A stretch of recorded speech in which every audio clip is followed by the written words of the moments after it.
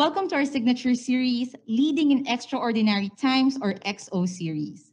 Now on its third year, the series was designed to highlight the experiences and practices of global and Philippine CEOs. The aim is to help inspire and enable businesses around the country to accelerate job creation and economic growth. Thank you to our secondary sponsors, Huawei Philippines and Health Now, and to our media partners, ANC and Business World. Before we formally begin, I would like to acknowledge the presence of our board members, Mr. Victor Paterno, who is with us today on site, and Ambassador Jose Cuisia, who is joining via Microsoft Teams.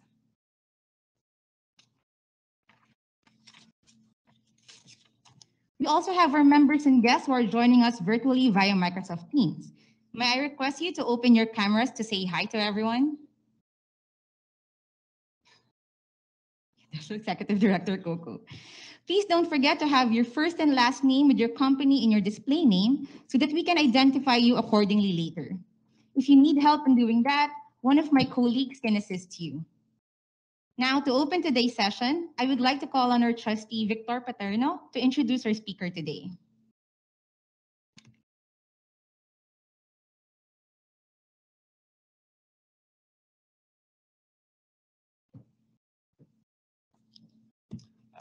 Morning all. Uh, thank you for making it both physically and virtually.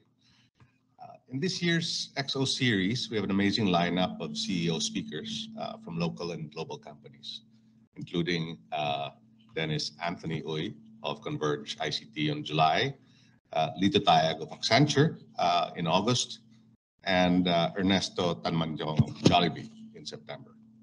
Peter Mac, finally Peter uh, Maquera of uh, Microsoft in October. I think Peter's here.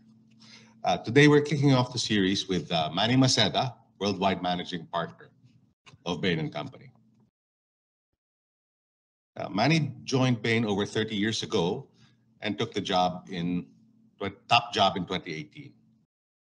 He has become one of the foremost experts on large-scale transformations, digital transformations, ESG leadership, and business role in society. Manny is in Manila to open Bain's Manila office, signaling confidence in our country's future. It's his third time to speak to MBC. In 2019, he presented to MBC how CEOs can lead their company's transformational journey in the era of disruption. In 2020, he was one of the first we turned to for insight on managing through the pandemic. And uh, we're grateful for the chance to hear from Manny again today. We may have come out of the pandemic, sort of, um, uh, but we're faced with war, inflation, uneven growth, volatile markets, numerous employees making work-life balance decisions, and technology able to do more and more work at the same time, uh, hopefully without taking our jobs away. Um, all of this, some of this we discussed this morning at breakfast, a smaller group, um, uh, including how MBC uh, can play a more active role um, in this very uncertain environment. Uh, Manny, thank you for joining us today despite your very busy schedule. We're excited to hear your insights. Uh, may I invite you on stage for your remarks.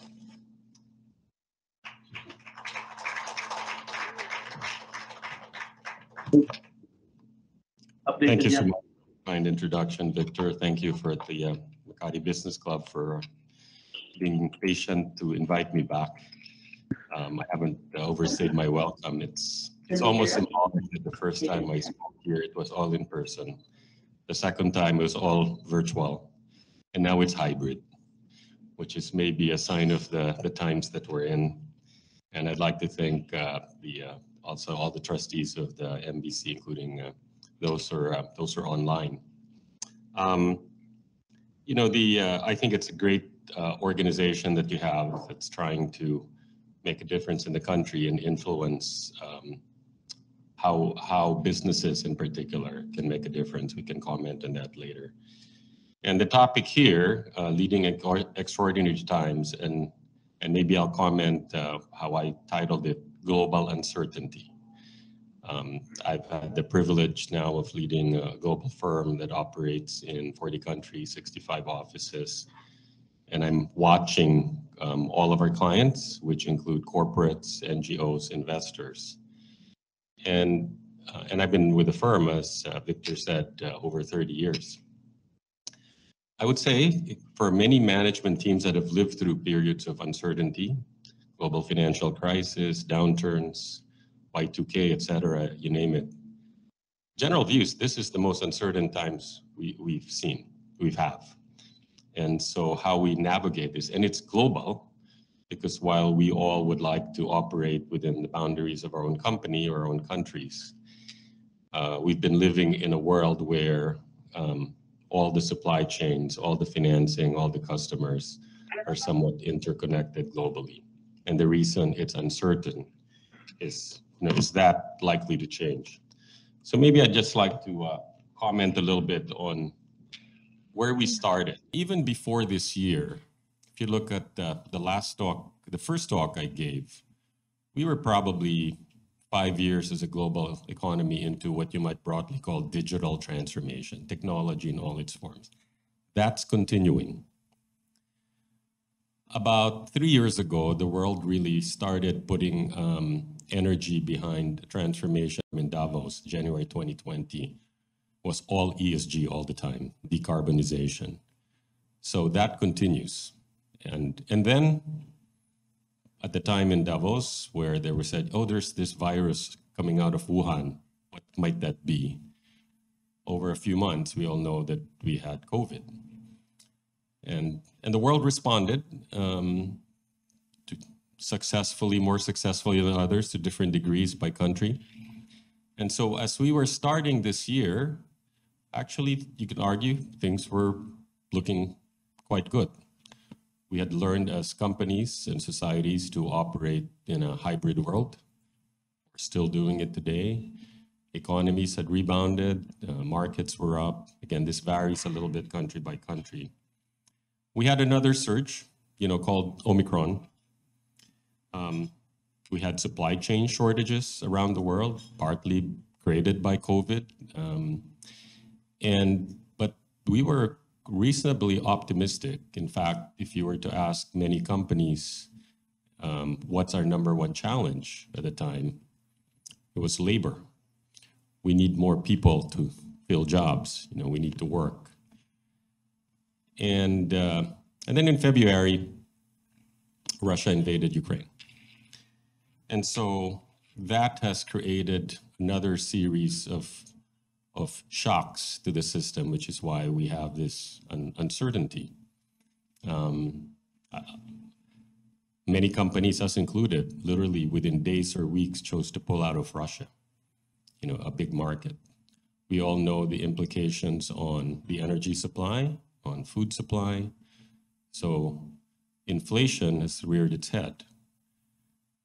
We've had many management teams around the world unless you were in some countries like Argentina, perhaps, that have not lived through a meaningful high inflation environment.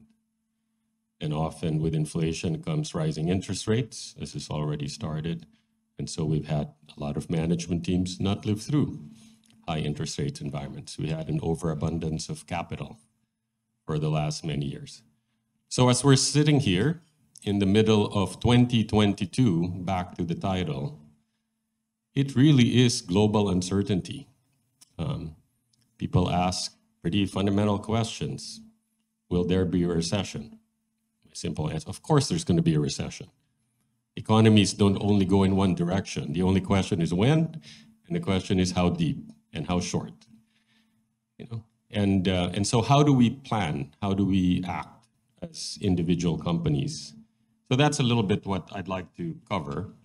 Um, I would say uh, to get somewhat, by the way, I wanted to show on this picture, you know, I'm, I'm, I'm i live in San Francisco, that uh, price, that pricing is several months old. The, the highest one is near $8 on, uh, on V-Power in, uh, in the Bay Area.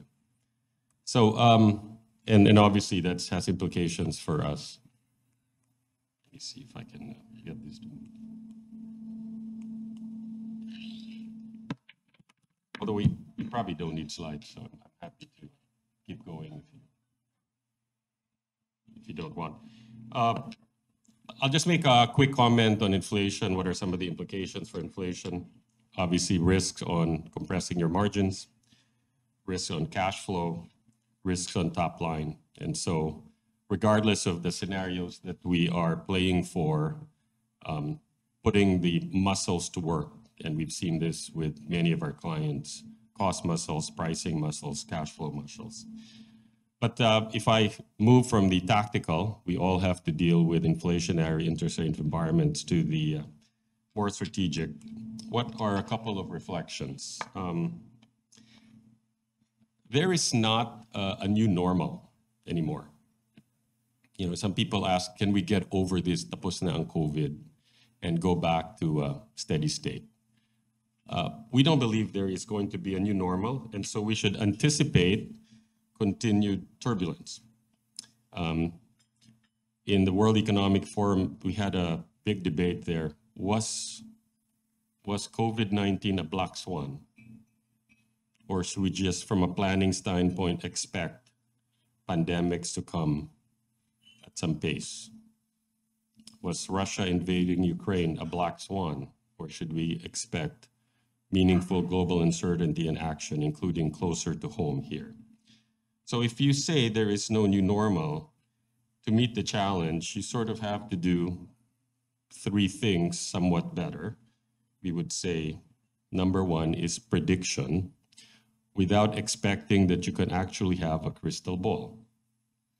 But some, if you spend time, we can debate this. Could we have anticipated, as Bill Gates would have said years ago, that something like COVID might show up? Could we have anticipated that Russia would invade Ukraine and a big chunk of the world's energy and food supply would come offline? Having skills on prediction and scenario planning matters. Second is if I go to the uh, to the lower uh, left, you have to be adaptable because you're not ever going to be able to predict perfectly. And then third, because of even when you're adapting and changing your strategies all the time, you have to have some resilience. Um, the days of saying I'll I'll put a project in, I'll have predictable returns year one, year two, year three, year four, year five. So you know, one reflection is don't hope that it will come back to a new stable normal. Just roll with the punches, deal with it, be a more flexible company to the extent you can, increase your sensing skills, be more adaptable, be more resilient. Because there's also opportunities. Some of you remember the second quarter of 2020 when we thought everything would um, just, you know, really go down, downward, downward, downward. The companies that made bets in that period are the ones who succeeded in capturing the upswing. And so we would say now, uh, I still see these questions. Oh, will the recession come? Will things slow down? You know, now is the time to make to take some of the actions to make to have the proper debates and to engage your entire management team. You know, not just uh, CEOs, CXOs, boards, etc. So I'll share that with uh, with a few reflections.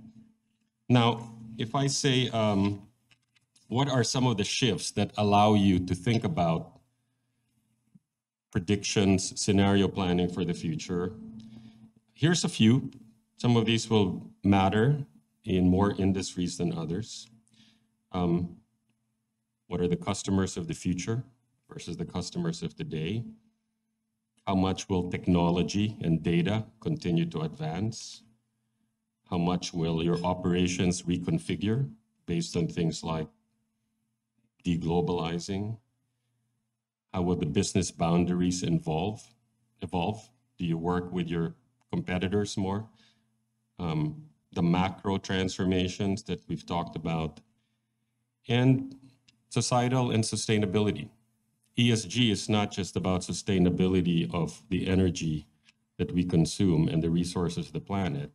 It's sustainability of the societies we live in to have some stability the uh, the continued um, split in wealth between the top and the bottom, and the implications of what happens in the next few years, maybe the next few months, as big chunks of the world might enter famine because of the disconnection of the food supply. Think about how that will create um, social strife. It's been many, many years since World War II. Are those all suddenly part in our scenarios? You know, we, we lived through World War II in this country. So part of, uh, part of uh, I don't mean this to be doom and gloom, I'm just saying be prepared uh, for many different scenarios, but spend some time predictability. Let's talk about some of the secular trends that you're familiar with, and maybe I'll comment on this and what, what the themes might be for your companies. Uh, geopolitical post-globalization, what does that mean? Well, for the last 20 years, perhaps, we can debate the time, we have been all trying to work in a global world, including Philippines, right? The world's call center, capital, um, financial flows can cross boundaries, talent flows can cross boundaries, customers cross boundaries. What's happening now, post-globalization, is there is some retreat back to national boundaries in different ways. Uh, the events in Russia and Ukraine made that real fast. But it had been happening long before that. Many of our American clients, starting with the uh, the Trump administration, who took a very adversarial approach to China with tariffs, uh, even then started trying to rebalance and disconnect their supply chains. By the way, all of these creates opportunities potentially for countries like us. Um, capital rationalization. We have had an abundance of capital in, uh, in this world, public and private, for the last few years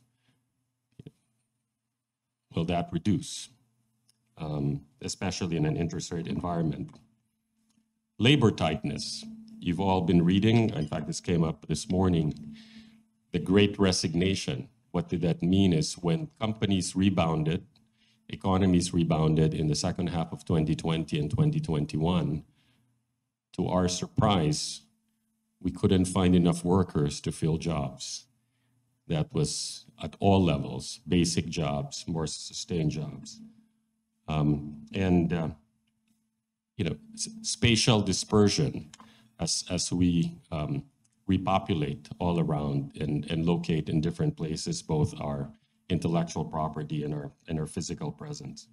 So you'll see a lot of themes that are potentially solves for that. Um, supply chain repatriation, what does it mean?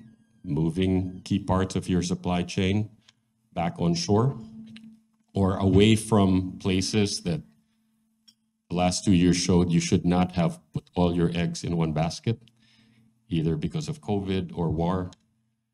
Service sector automation.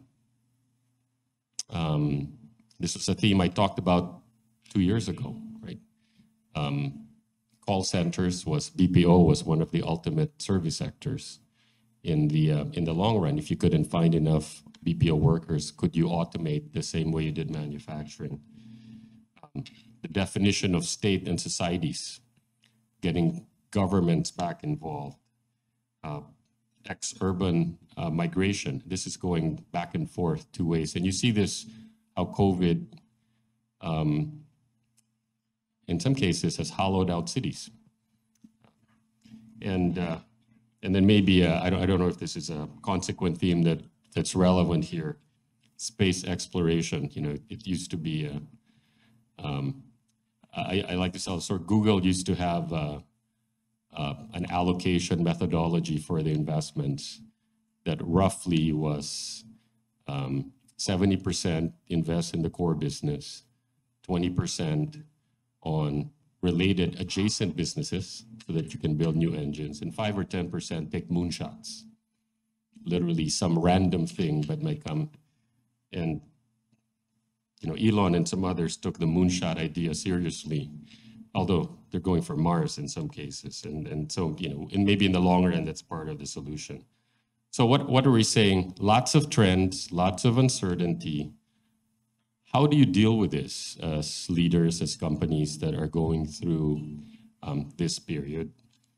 Is, is it the same old strategic planning process?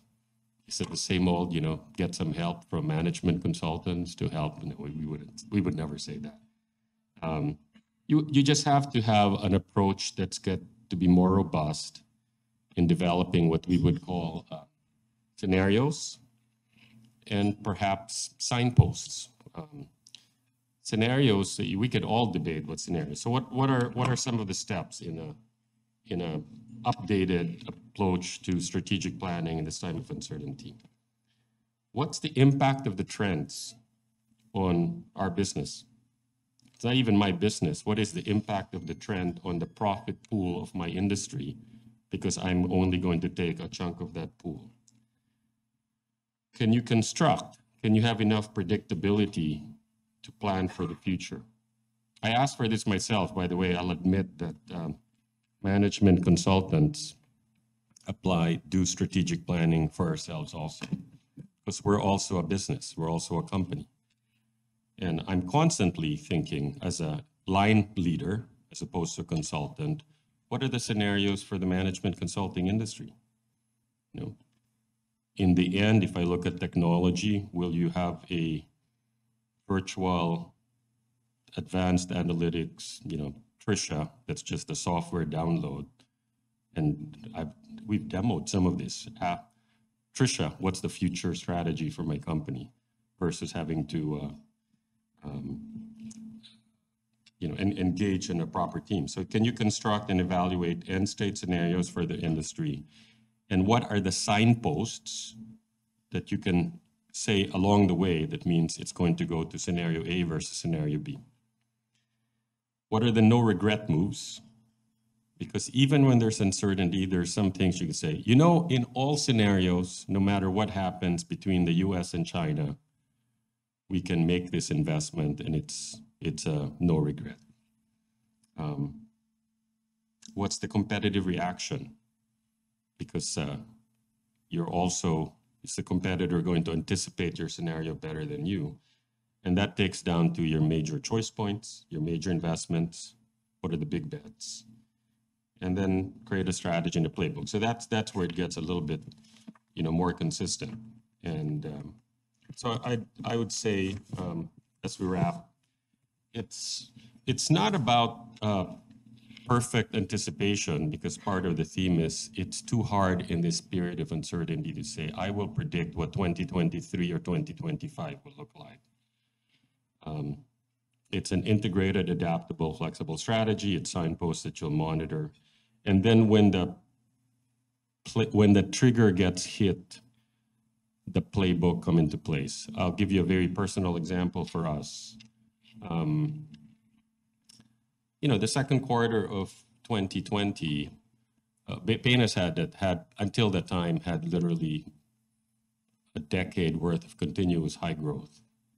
Then we had one quarter of negative 25% because during that period, everybody, all the customers said, you know, stop discretionary spending, stop external consulting. Uh, what was the signpost that says if you just assumed you continue that trajectory, you would have gone down a different path.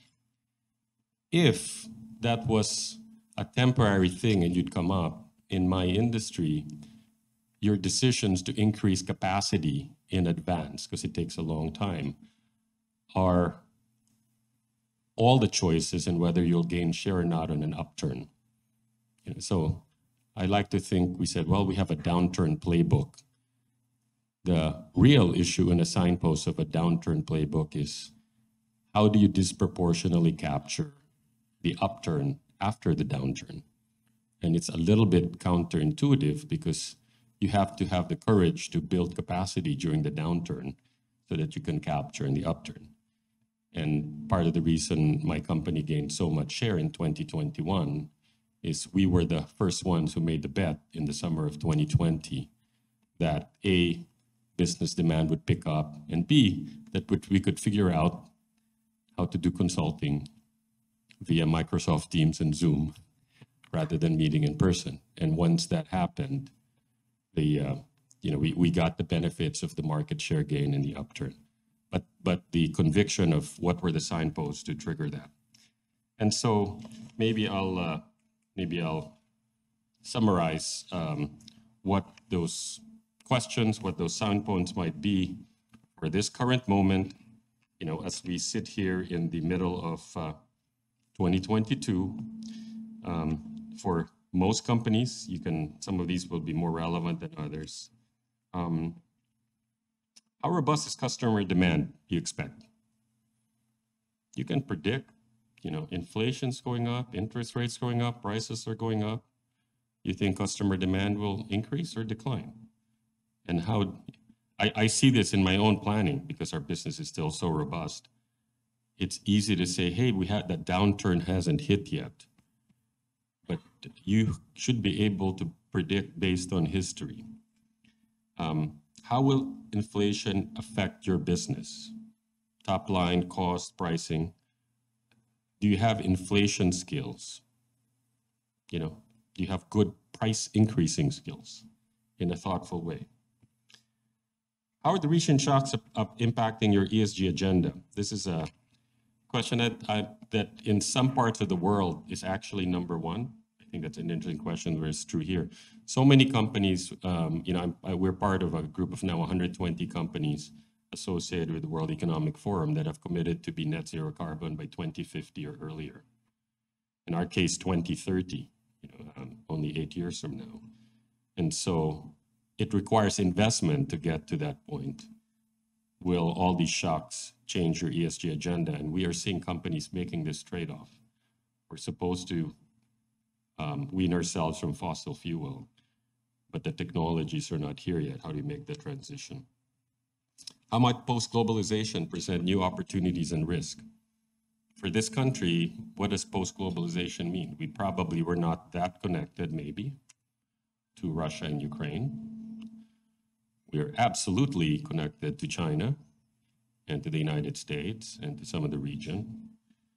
So will that create new opportunities and new risks? We are seeing many of our European and American clients rebalance their investment portfolios, both corporate and financial investors, to have less exposure to China in this post-globalization world.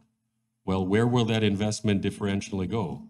When I spend my time in Singapore, they're all saying, put it here. Um, same thing in Vietnam. Can they come here?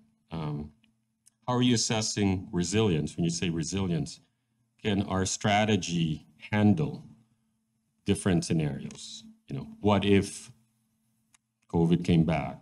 What if we had a war, invasion closer to home than, uh, than over in Europe? And finally, how do you evolve your own planning process to, to build this uh, all in? And I say, if you have good answers to these uh, to these questions, um, you know, we'll we'll probably better be able to handle the uncertainty of the uh, the quarters and and maybe the years to come. So maybe I'll start that with food for thought, and then we can uh, get more specific in in Q and A. But, uh, thank you for the initial uh, comments. I think.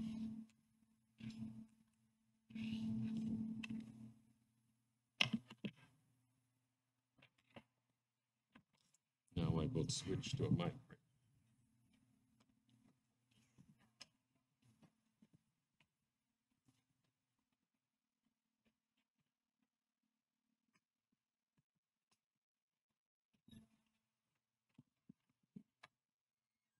All right. Um, thank you very much, uh, Manny, for that sobering discussion. So we're now headed um, to our Q&A with everyone, our on-site and online guests.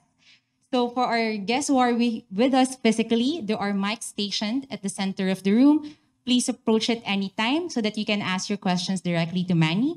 And for our online guests, please type your questions at the chat box. My colleagues here, Gita and Bern, will make sure that your questions are asked. Please don't forget to introduce your name and company when asking these questions. So just to kick off, okay, let's wait. Okay. Just to kick off the discussion, um, Manny, So um, thank you for emphasizing that companies must be resilient in just continuing um, uncertainty and volatility. We have different um, guests in the room coming from different industries. So I would just like to ask which industries face the most risk if they don't heed your warning about, you know, anticipating different, um, uh, if they don't anticipate properly the sustained turbulence that you warn us of. Uh, so th- thank you. I, I, would say that uh, you have to go from the general trends that I talked about earlier, and the reason, and, and it's a good question, and you have to get very specific, and that's the way, you know, we do our planning. Um, the impact of all of these trends, industry by industry, in fact, sub industry by sub industry. You can take an industry like financial services.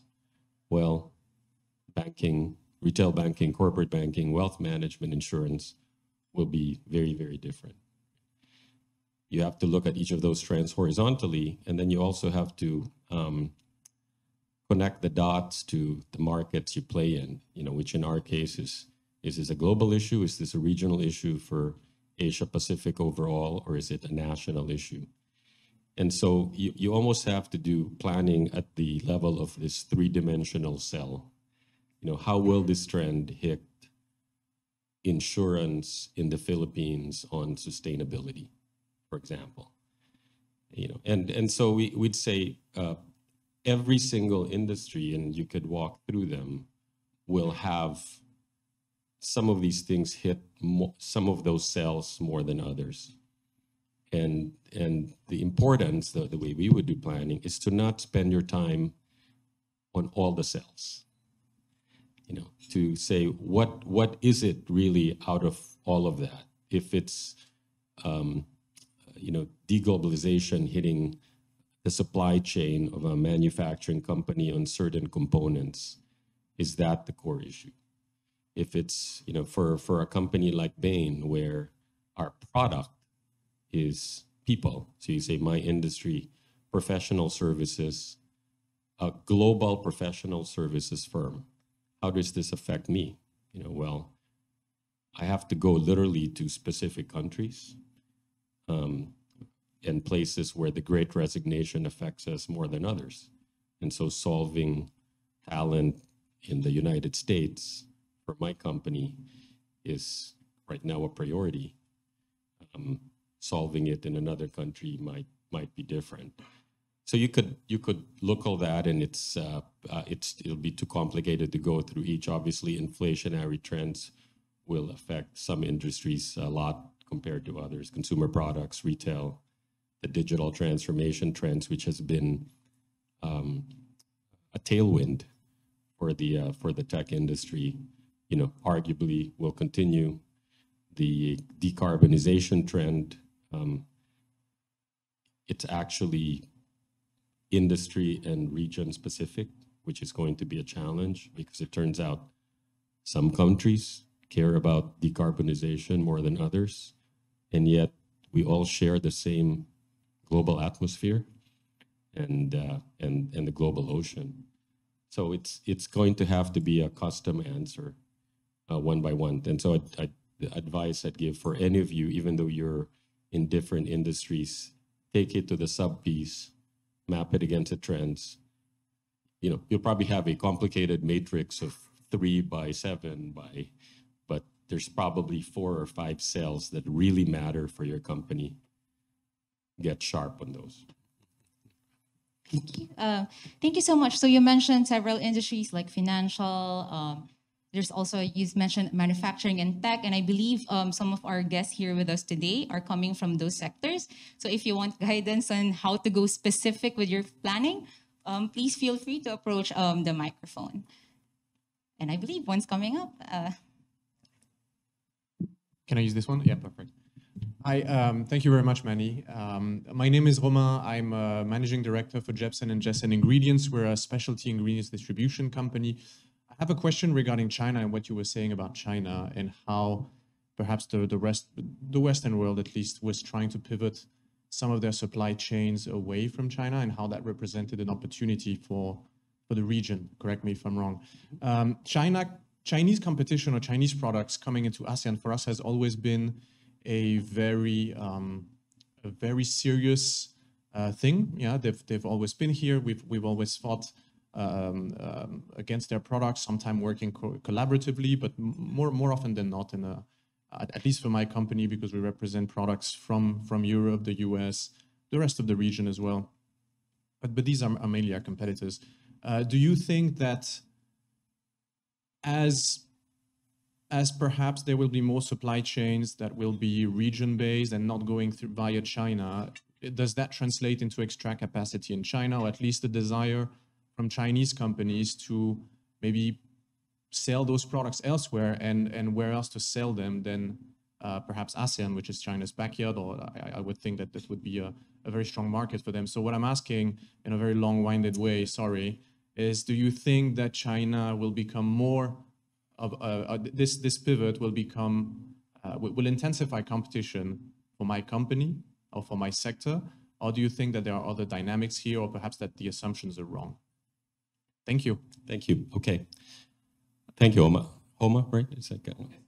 Um, you know, China is probably one of the major complicated questions for a lot of companies in a lot of industries.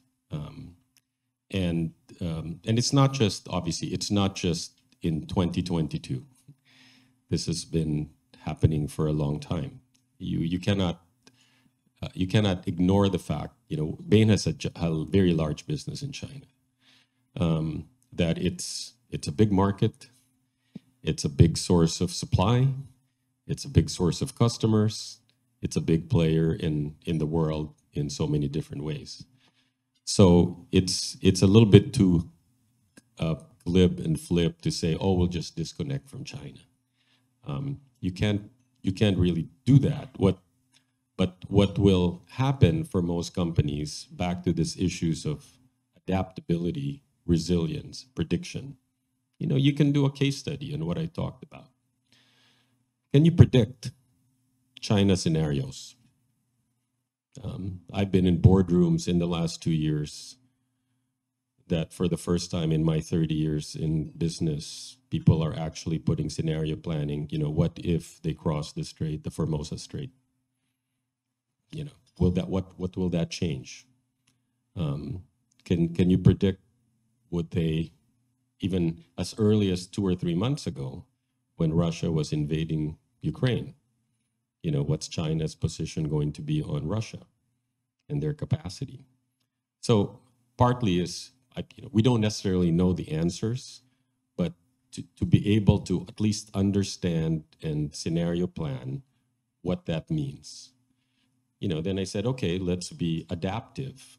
Um, again, this varies industry by industry. You're in food components.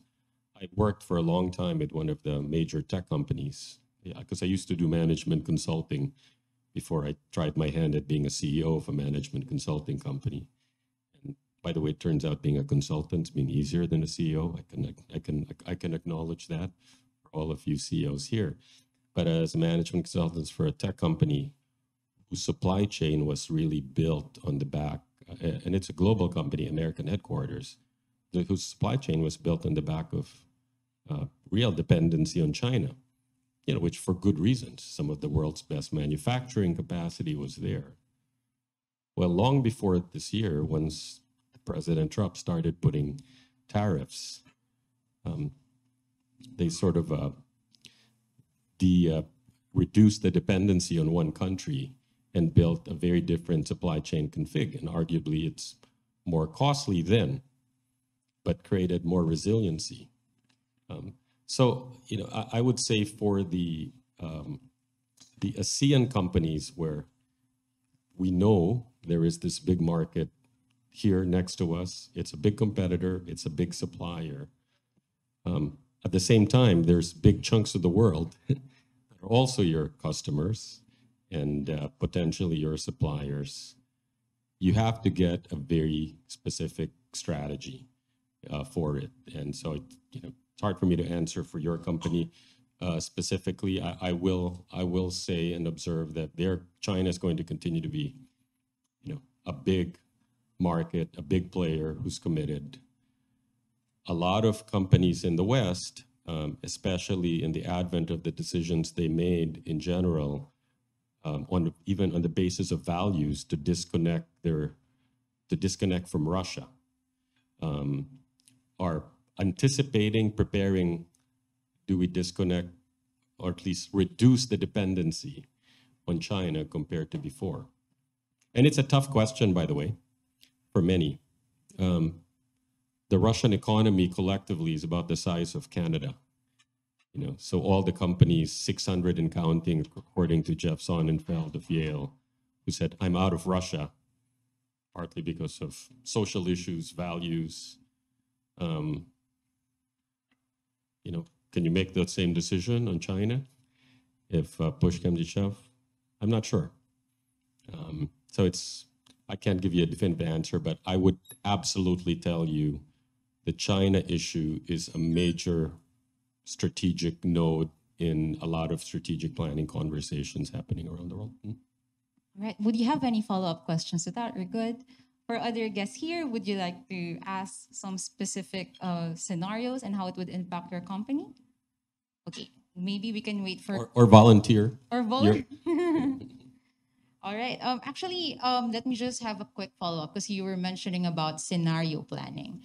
But what about um, what what's the implication of the current situation on term plannings? Because you mentioned that uh, businesses must go specific, um, taking into account all these developments into their businesses.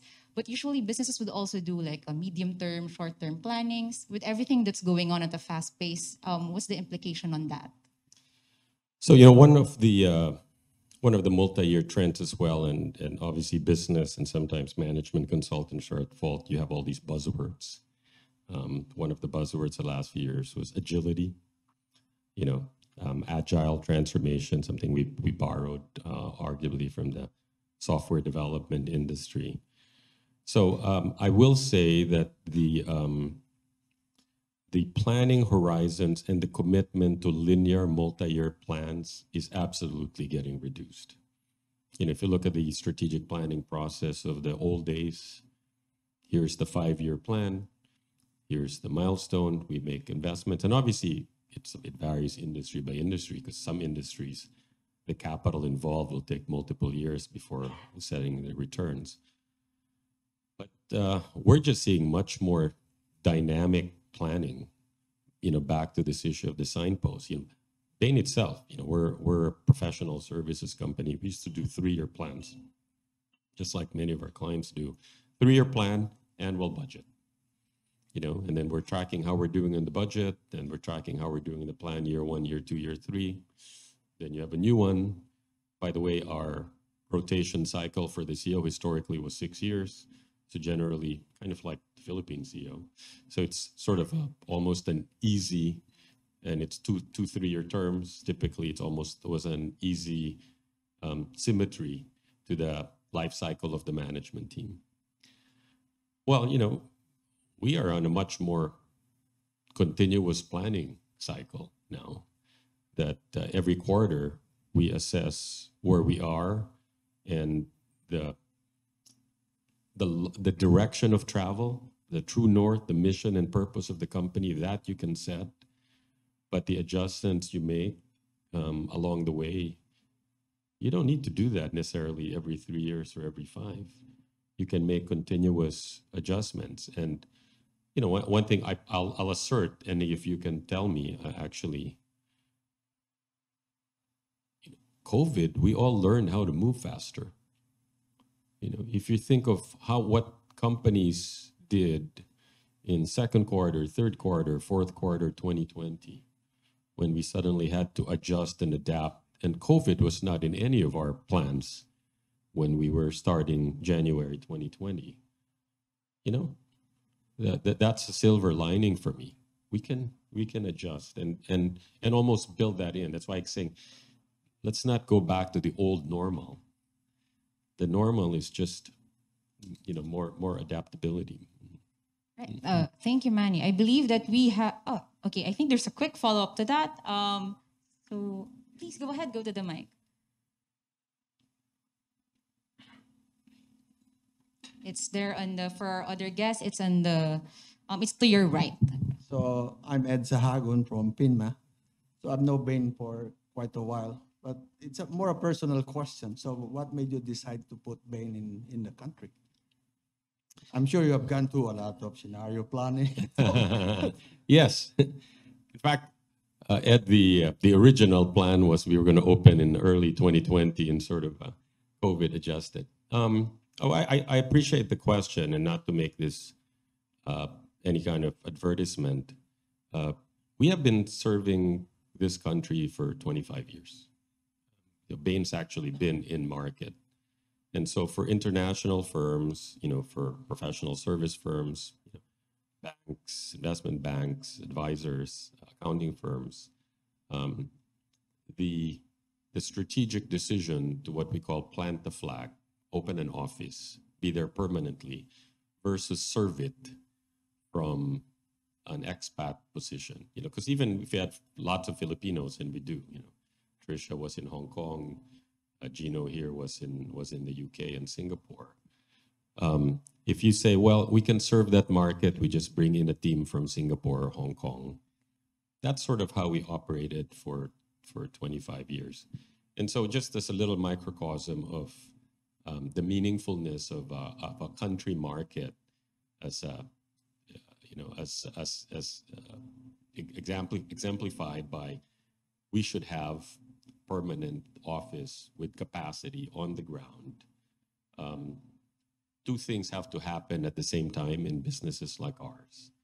Number one, that the actual demand exists for a continuous scale business in a country like the Philippines. And we've been seeing that the last few years. And because for companies like us, the demand is local companies who are scaled enough that need our services here, local companies that are regionalizing and globalizing, and there are that could benefit from us here, um, multinationals that have put their headquarters in the region or where this country itself matters. You know, it's very easy for for a multinational that we work with, you know, a public client Coca-Cola might say, well, Bain do a project for us in Brazil, Canada, or China, big markets. When multinationals say, well, you should do a big market for Philippines. It's an attractive market, you know, 110 plus million people. Um, and then the and, and then the investor community, because uh, one thing that's happened in the world world dynamics is there's actually more private companies than public companies um, as the private equity and equity capital industry has grown. And you know for for those of you who don't know bain is the preeminent consulting firm serving uh, the needs of uh, the, all the major global private equity investors. And they've been investing here in the ASEAN broadly. So one part of the equation is that demand was here. The other is talent. And so this one, I'll, I'll speak a little bit. You know, I see my friend Jean-Pierre Felenbok was a longtime head of our practice in the ASEAN. We've always been able to disproportionately attract Filipinos. And guess what? All of you here, Filipino management talent is very good. And they can work in the region, and they can work in the UK, and they can work in the United States. And so one of the issues always, and you know, I feel some guilt myself. Well, is the is our top talent willing to work here versus Singapore or San Francisco? And when when we got to critical mass of five senior people, a full team, a full pyramid underneath with 20 plus people who said we're willing to locate and base ourselves in the Philippines, that was a good point in time. So you know, this was, I joined a firm that had six offices in the world in the late 80s. It took only 30 years to get office number 65 in Manila, but I'm quite excited about it because I feel that um, we have, we can make a difference with Filipino companies. We can also have Filipino talent that we build here that can uh, can operate everywhere in the world. So, and, and we're we're hopefully ha- happy to be members of MBC with you. So Yeah, um, thank you for that. Actually, um, for our guests here, uh, please uh, take this time to cook up some of your questions. I will now turn over to our on-site participants. Gita, I believe you have some questions for Mr. Maceda from our audience. Take it away. Yes, um, Mr. Maceda, we have a question actually from Jose L. Cuisia. He's um, asking us that the dollar seems to be extremely strong because of the FED's moves to continuously increase to continuously increasing interest rates. The peso has weakened because BSP has not increased its base rates as much. The weak peso will contribute to higher inflation. Would you suggest that BSP adopt a more aggressive stance to counter inflation? Recommendations for the government. Th- th- Thank you, Tito Joe. The, um, uh, the use of interest rates for the US Fed is sort of a long, well-established playbook. They, um, and, and uh, historically, the, the Fed's objective, if they can, is soft landing. And, and so to the extent they don't have that many levers at their disposal. Most of us who follow, you know, I'm, I'm, I'm not an advisor necessarily to central banks. Trisha, I don't know if you ever advised your, your, you know, your late uncle when, uh, when he had some of, some of those issues. But um, I- would say we would, we all predicted that, of course, the Fed would going to start rate, increasing rates. It's the historical norm and playbook in uh, at least in U.S. monetary policy. We can debate whether we expected three quarters of point all at once versus historically do a quarter at a time. And and if you look at how rapidly inflation has been rising in the U.S., they kind of had to go big. Now we can debate the root causes for inflation. You know, six months ago, we were all saying um, in, in the U.S. I'm a member of the Business Roundtable there, so we we get constant updates from both uh, Jerome Powell and Janet Yellen. They were pretty optimistic actually six months ago that inflation was a temporary spike because of supply chain um, constraints that were caused by COVID, a temporary spike because of uh, the great resignation and labor gaps, but that it was going to self correct by second quarter 2022. Okay? Then Russia crossed into Ukraine. And so, and then China shut down again. And, and so it's look at that. Uh, really, it's, it's second quarter of 22 and China shut down again. So the Shanghai ports, what we thought the supply chains would get unstuck. So I do believe that the, uh, the US Fed now believes inflation, that these forces that are creating inflation are kind of here for the foreseeable future. You know, we don't have a quick solve for Russian energy um, coming off some of the market. We don't have a quick solve for Ukrainian grain still stuck um, and the planting seasons, perhaps. Um, so, you know, they they finally acted, and they acted in a in a big way. And obviously, when interest rates across countries um, get out of whack, then then uh, exchange rates change. I mean, I, I, I don't mean to uh, get get very basic. So so yeah. So right now with the, those interest rates, you you can't have big differences in interest rates and not expect changes in the exchange rates. And then the question is, well, what are you solving for? Do you want to reduce inflation? Do you want to change the exchange rate? Um, that's a, you know, very long-winded way of avoiding answering the question directly to the BSP of the Philippines. But uh, you know, I, I I would expect at some point at some point you'd you'd have to respond and optimize that. And I don't expect that this uh, last move of three quarter points will be the last one anytime soon. Right. Um, I think we have might have another question from online. So we will turn over to Chris later after this question is asked. Go ahead, Gita. Yeah, um, Ambassador Cuisia says thank you um, online. And then I, the next question online actually is from Elmer. Um, Elmer is asked, uh, sorry, his name is Elmer Lapena of Testec. he asks that you mentioned that the abundance of capital in the you mentioned the abundance of capital in the economy. Is this related to the historic 25% surge in money supply in the USA between 2020 to 2021 to stimulate the economy? What are your thoughts on this trend in other places, and how do you think this will play out in the future? Well, thanks. Uh, Elmer is a classmate from uh, high school in La Salle Green Hills. So, regards, Elmer. I haven't seen you in many years. Um, so, I, I'd probably say uh, when I mentioned the um, the capital superabundance, that's a slightly different issue from the the specific capital abundance in the contra COVID um, uh, solves that both the U.S. government and Europe in particular did. Uh, you know the the the long-term capital um, superabundance issue is really a decade-long level of growth before COVID and financial returns and, and applied to different sources of capital, including private capital.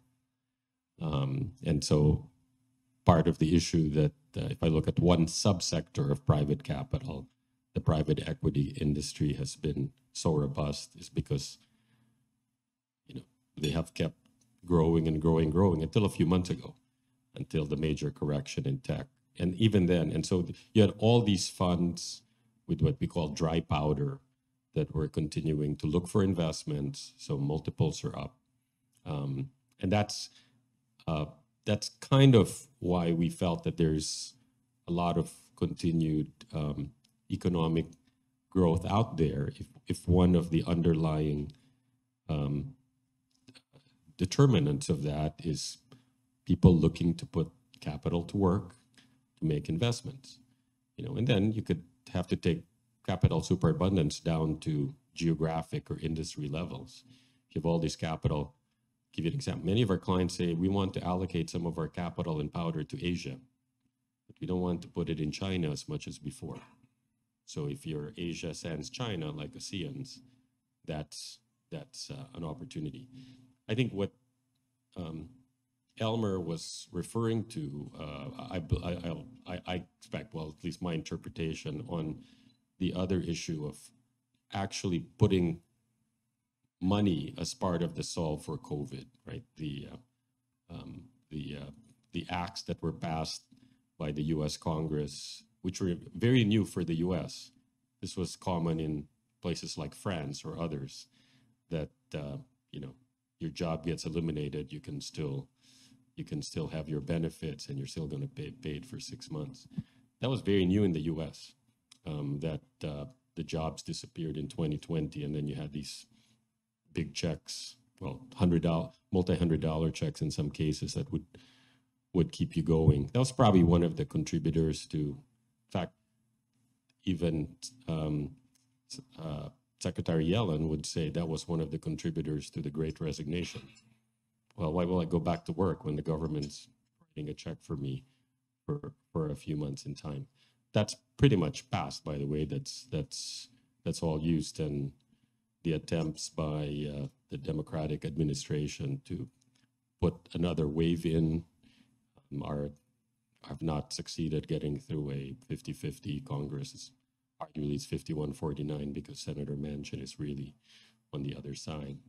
Um, so I think those are two almost opposite issues. I'd say the the fact that those incentives have rolled out, I personally think we're going to be on the other side of the great resignation soon. We're seeing it already. You know, once the economies are softening down the world, Europe is arguably in recession already. Um, people will need jobs. People will need paychecks. People will come back to work. We're seeing something in our own firm. Say the flip side of the great resignation is the great boomerang because you know people go try something else grass is not greener on the other side want to come back um, in the meantime uh, even with the reduction in in equity markets and the multiples coming down especially tech companies um, there is still a lot of investment capital out there looking to put to work. And then, you know, and then the question on that side becomes a little bit more um, one of timing. If you saw what happened back in 2008 9 or in the second quarter of 2020, you know, multiples have been going steadily like this for the last two years. Now they've gone this. And then at some point, you ask yourself as an investor, especially if you're buying companies, like many of you do, you know, do I wait first? I'm feeling this myself. You know, Bain's acquired 18 companies in the last four years, and that we we explicitly embraced M&A as part of our own strategic agenda. Hmm. Wonder what the multiple will be later on in the year compared to now. So sometimes, but the the interest, the when I and uh, the, the powder out there to keep investing. I presume for all of you that are deciding how much do I invest, because when I say this is a period of strategic uncertainty, the real question you're asking, okay, this strategic uncertainty, what do I invest in? How much do I invest? Do I buy a company now? At what price? You know, is the price going to be better in six months versus last year? Or frankly, if I don't get it, I regretted some companies I passed on in the summer of 2020. You know, said in hindsight, ah, dapat we pulled the trigger. You know, and, and that's where the the conviction that you have on making investments during a period of uncertainty, that's what separates, you know, great investors and, uh, you know, and those that just follow, follow the crowd. Thank you, Manny. Uh, Mr. De Peña, if uh, Manny interpreted your question right, um, uh, please do so. If you have a follow-up, please feel free to do so again. But now we're returning to our um, on-site guest. Chris, you have a question for Manny. thanks, Jen. Hi, Chris Ilagan uh, from Chris. Cargill. Um, Hi, Chris. yeah, and we've done some work with Bain. Thank, thank that. you, Cargill. DMAC is a good friend. Oh, is it? great, great to hear. No, but um, you know, I I like how you talked about the whole scenario planning and improving your predictability. Um, when hindsight is 2020, right? Uh, of course, it becomes clear we should have seen COVID coming, the Russia-Ukraine crisis coming. I want to tap into your crystal ball. What are maybe a couple of quote unquote black swan events in the grand scheme of things? It's not really a matter of if, but when that you may see on the horizon, either globally or actually, hopefully, globally and maybe even regionally. Uh, that would be appreciated. Thank you. Wow, Chris, thank you. Even, if the probability is 80% happening, yeah, that's that's that's fine. Nothing's ever absolute. Well, uh, I'll tell you the um, the big ones we scenario plan on the um, you know on the trends that we see, and maybe I'll call I'll call three out. Um, uh, the deglobalization issue I mentioned this earlier. Um, that's probably the big one we all scenario plan. Right, China, little bit Saudi Arabia too, as the, one of the world's other largest sort large source of energy, especially since Russia. So, am I willing to crystal ball uh, what would happen in China? I probably was willing to crystal ball pretty early that at some point they would abandon a zero COVID policy. And you and I can debate whether we think that's finally happening. Because you can argue if they hadn't stuck with that, you know, would things be be better? You know, um, I don't expect them to invade Taiwan in our planning horizon. Some people do, you know, I don't. So it's like you, you want me to take positions. So you know that's. But the whole point of the talk is to avoid crystal balling, right? So, um, but all of those have uh, the whole issue of China. Um, second is um, global, just global peace. That's a big one for me. Um, I can't tell you if, if I were in this room in Europe, and I have been multiple times in the last month, how the the Europe, the the Russia Ukraine war just dominates everybody's mindset. You know, you you, thought the Germans had forgotten World War II and then it all came back. And so if I look at global stability um, and where that might happen, you know, um, obviously if you look at the implication, you know, you're you're in the food industry uh, in, your- in your in your supply. You know, if, if things really go south in Africa, will that affect the world? You know, maybe not, but if in, in other places. You know, and then I'd say the third that's kind of I'd, I'd like us to have a point of view is the decarbonization sustainability issue really. Um, you know, we're uh, because this is for me this is not to get melodramatic this is survival of the species this is survival of the planet you know are we really going to make enough changes to keep global warming below a certain number you know whether it's 1.5 or 2 and are we going to make those changes and again um, I don't sense that as much in my dialogues here as something that's at the very top of the priority list. But I'll tell you, I talk to a lot of CEOs and investors and say, out of everything else, that's the issue.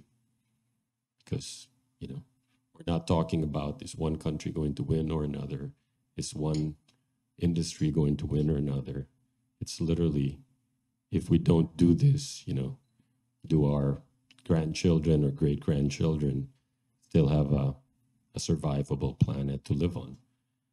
And then if I say, can I crystal ball, will the world actually get its act together to move in concert to address this? When it's clear the world is bifurcating to some countries that care about this and others that don't. And that's actually bad, right? Because then if the ones who care about it are incurring higher costs and higher pain, and the ones that don't care about it are still polluting. So that one, uh, I don't, you know, that's where I deny my crystal ball instincts and I go to my hopefulness and optimism. This is, darn it, we'll figure out, we'll figure out how to solve this, and and I do think that's important, even for this country to uh, to embrace. I, I know there's there's uh, there's movements and pressures there. And, you know, your your company is is uh, very very active in a decarbonization sustainability agenda. I just don't know if it's we're going to get it done in time. I was, you know, Glasgow COP26, which I attended. I had mixed feelings on the success. But you did mention about hope, hopefulness. So certainly that's something that we will do. Um, I would like to go back to one of the themes that you mentioned several times actually during the Q&A, and that is about workers, um, great resignation. So in the Philippines, there's like a big debate around the topic. Um, uh, rising transport prices and even traffic are some of the reasons why workers would want to prefer the more flexible route. Can you share with us your observation um, about the global trends and companies in abroad? And for the companies um, here in the Philippines who have not made up their minds about that arrangement, what would be your advice? Okay, so here's uh, there's a few interrelated topics. Um, part of your question is what is the work model of the future going to be? You know, like I said, my first meeting we were all in person. My next one we were all in Teams or Zoom. Now we're hybrid, right? And so, uh, and and how is that related to how you framed it, uh, the Great Resignation? because it's one of the many factors that actually have contributed uh, when people are choosing to leave their companies and do something else. Some of them are choosing to say, uh, I'm leaving because I don't want to work at all. Some would say, well, I'm leaving because I only want to work in a certain model. And if I only want to work at home, remote, and my company doesn't want me to do that, that's another um, reason to live. Or second order implication, some people are saying, well, at least we're rationalizing, if you didn't build culture and loyalty and identity with the company, because you weren't coming to the office and you weren't building relationships with peers and bosses and mentors in the mission of the company as effectively if you were remote. Um, were all those contributors to great resignation factors? Yes. You know, plus plus Elmer's comment on well, you know, you're paid not to work in some countries, and in some it's like, you know, people people in COVID got, uh, um, you know, the you only live once mentality. Well, if it's going to get bad, I, I should do something that's meaningful and fulfilling. Um, so you you you put all that aside, or you put all that together and say, are those contributing and will those uh, to this historic Great Resignation, which I actually believe is on the downswing already. Um, it's probably later here because you haven't experienced it as much as you know where the U.S. was nine months ago versus where the U.S. is now. Now, the the first part of the question is, what's the model actually going to be like? And you know, I actually think it's going to be quite um, segmented. I don't think it'll be the same answer for everybody, and it's going to it's going to vary by job type. We all know from the beginning, in this office knows that there were always jobs you could do kind of remotely. You know, arguably a call center operation, even though you were in a physical space here serving customers in Australia or the US was semi-remote. Um, it's going to vary country by country, city by city, and it's going to vary a little bit by demographic, psychographic. So, what what the answer is? It's at the extreme.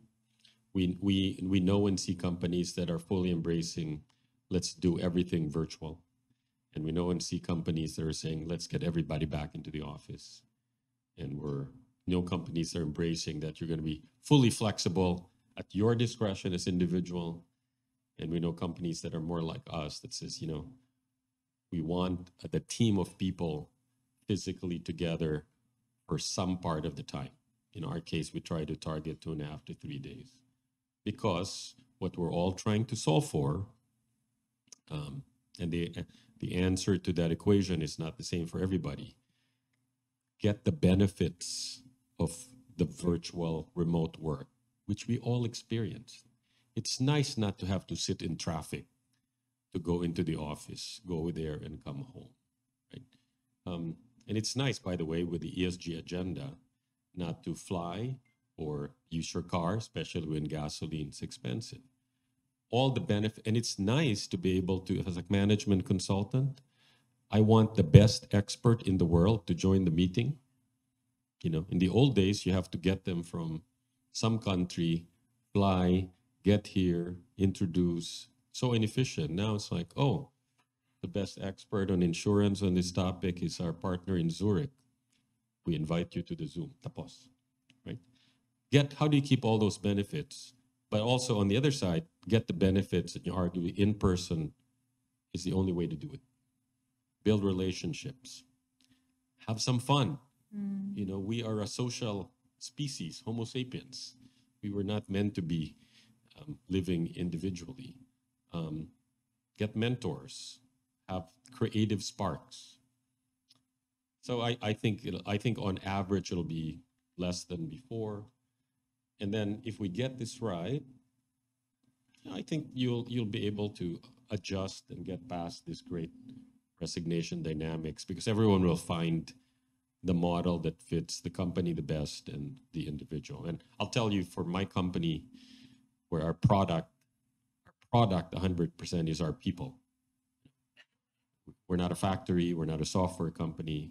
You engage Bain, you're engaging a set of individual human beings with the full power of the firm behind them.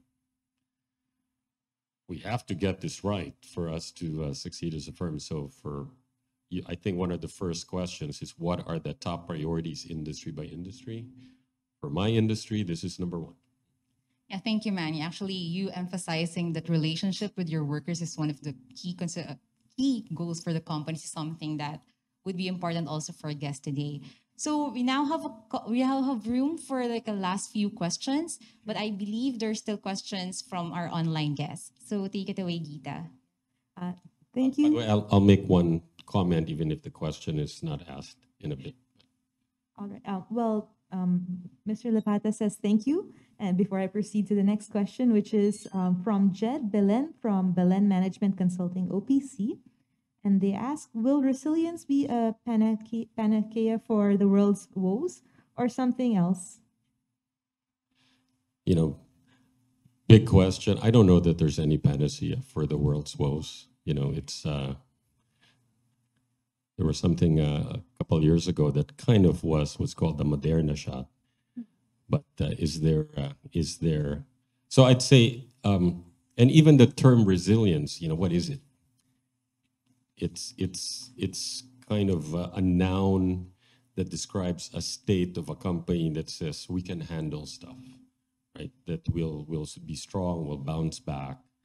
Um, so it's not exactly a panacea; it's a way of coping, I'd say, with the with the world's woes. And uh, and if part of the message, not to be too doom and gloom, is that the woes will keep happening. Right? This is just the nature of uh, what we're in. There will continue to be challenges, and so um, accepting that and building into it, and not being too down, because eto na naman, there's another problem. You know, I'd, I'd say that's uh, that, that that's how I think about it. But no, I don't think it's a panacea.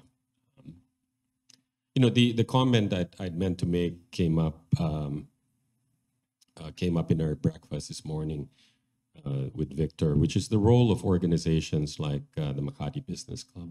Um, because one of the realities, and if you look at so many of the factors we talked about, you know, globalization, ESG, um, technology, great resignation, it's very hard for an individual company to solve this on their own. It's very hard for an industry, although we see great things when the industries get together. You know, I was in Japan a couple years ago in the early days of uh, be- before ESG, and one of the things that impressed me, we work with some of the Japanese beer companies. You know, you know, they all agreed to have the same bottle. I said, why is that a good thing? The industry association, you know, whether you're Kirin, Sapporo, Asahi, it's the same bottle. It's so much more sustainable. It's so much more recyclable. You know, your brand differentiation, and and I know, given some of the products I consume, that the size of a Johnnie Walker Red versus Johnnie Walker Black versus Johnnie Walker Gold versus Johnnie Walker Blue are different sizes para madali makita sa behind ng bar which one it is. You know, but that's an example of an industry-wide phenomenon that when the industry agreed, we'll all use the same bottle, and competitors compete on branding and advertising. That's just a much more sustainable model. But it's not enough that companies work by themselves. It's not enough that they work in in peers in with other companies, including competitors. You got to work with the government.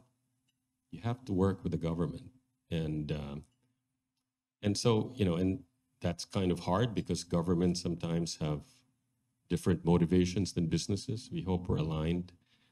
Um, so you know, uh, uh, one organization I'm a part of the U.S. called the Business Roundtable. It's the largest 200 companies in the U.S. Our explicit agenda kind of a lobbying organization is to influence government policy to make it easier for businesses to succeed, specifically American companies, in a bipartisan way, which means an ongoing relationship with whichever president in power, with the key departments, in that case with the key senators, because no legislation gets passed unless you get the majority. And so one uh, you know, one comment I make, one of the reasons I was excited to talk to you and even, you know, honored to be invited to be part of the MBC is this is the kind of group. Um, this might be a closer answer to the panacea question. you know, that if uh, while we're talking about um, resilient, adaptive, strategic planning as companies, if companies band together to solve some of this, we'll have a better shot. And if companies collectively influence government policy and regulation for business, which I hope uh, MBC does. Uh, I do think those are important. Those are important moves. Mhm. Thank you from uh, Jed Online and handing over to just, uh, JVP. just a follow-up question, comment on that. Thank you for, we discussed that earlier. There are a lot of questions for you. But I, I do think that, you know, you, you uh, spoke about, we discussed today, capital, being able to attract capital that is seeking ex-China, Asia, uh, uh, supply chain hedging uh, vis-à-vis China again, which speaks to industrial policy, maybe. Uh, uh, this uh, decarbonization, which is a collective effort. Um, and you know, this morning we discussed agriculture and uh, food security. Um, yes, all of these I think uh, really require. In the end, you get back to government to create the enabling environment. Um, and I, I guess uh, the the Japanese beer one was quite interesting. Um, and I think there the point was also they could probably have decided among themselves, but they wanted a neutral partner. And and I'm thinking whether this might be actually a model uh, where you know, the Makati Business Club might not be considered the most neutral of organizations, uh, depending on the administration. Um, but we do have a long history of working with government and with foreign governments. Uh, a lot of the uh, initiatives um, from various embassies uh, gets channeled through Coco and his team. no? So we have that network, and I do think uh, you know your example from the business roundtable was was quite apt. Um, and yeah, just just as a as a little uh, advertisement, we do have committees um, that have been formed. There's uh, digital and, and uh, governance, women in business. But if you feel the need for specific uh, issues that MBC could help address um, by working with government and perhaps with third parties, uh, neutral third parties, uh, um, advising, um, please, you know, feel free to. We, we, we, there was some discussion at the board meeting about perhaps getting involved in agricultural policy, maybe. Uh, So, anyway, any, any thoughts on that? Further thoughts? No, th- thanks, uh, thanks, Victor. I, I do think that um, you know associations uh, can can proliferate. Obviously, there's uh, and and the Japanese example was basically the, the industry association of the beer industry.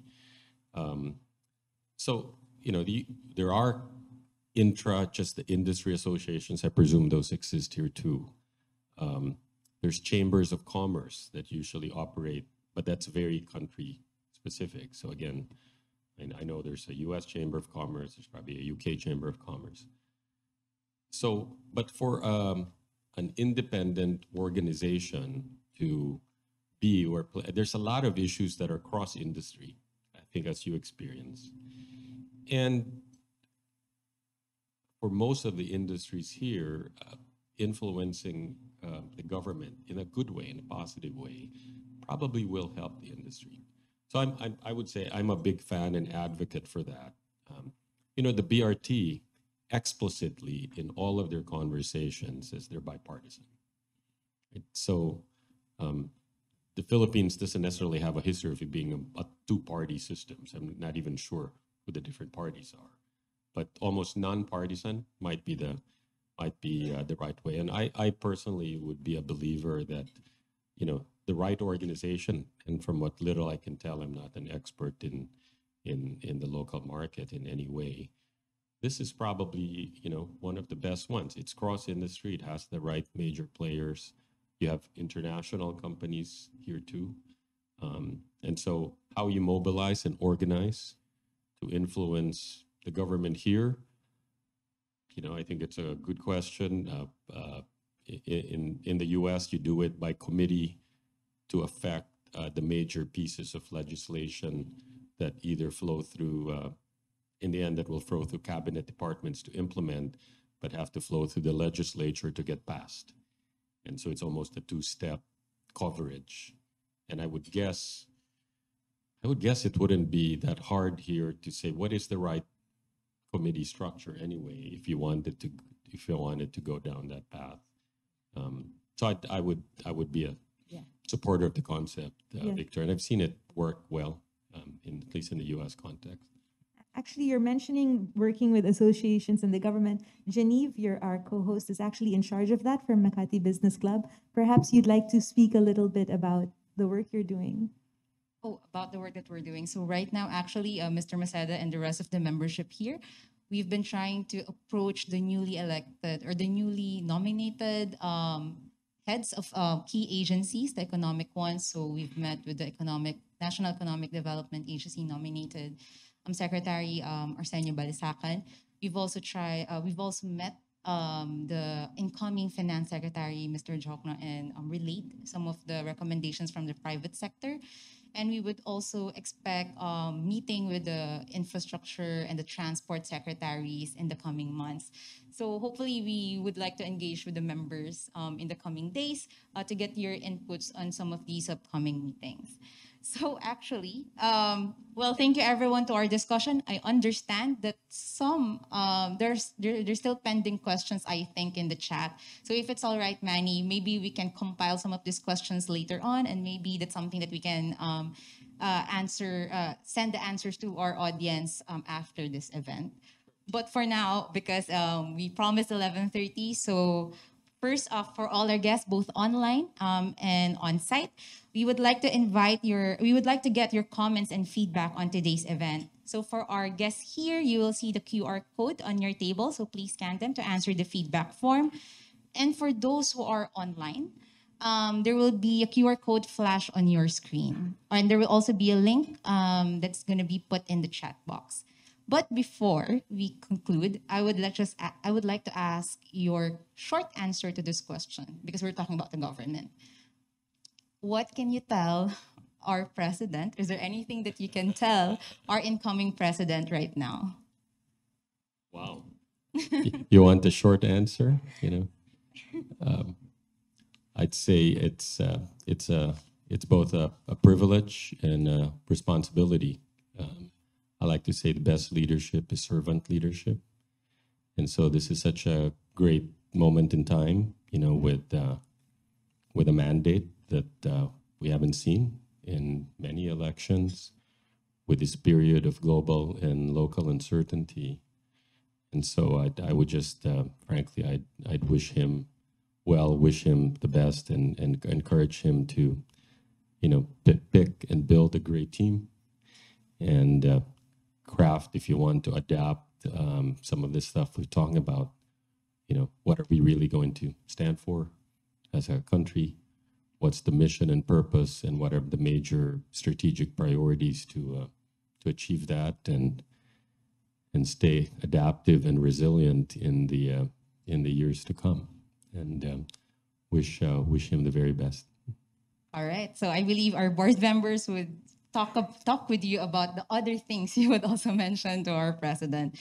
But for now, um, we would like to invite everyone to a group photo. We will start first with our um, online guests. So um, if you can open your cameras and flash your smiles. So are we ready, um, Tessa? Okay. So for online guests, um, this is your cue. One, two, three, smile. One, two, three, smile. And last, one, two, three, smile. Okay. Thank you. For our attendees in the room, uh, you may stay on your seats. You so much. Okay, um, are we all set? Are you all ready? Yeah. Okay, so you're for talk first. All right. One, two, three, smile. One, two, three, smile. And lastly, one, two, three, smile. All right. So with that, once again, thank you, Manny. And thank you to our secondary sponsors, Huawei and Health Now, media partners ANC and Business World. Thank you to all members and guests for attending today's session. We appreciate your presence today. We hope to see you again in our next XO session featuring Dennis Anthony Uy of Converge ICT on July 28th. If you haven't registered yet, please visit our website mbc.com.ph and our bulletins. Please also like our social media pages, which is flashed on your screen. Good day to all, and we look forward to seeing you again in our future events. Thank you and stay safe.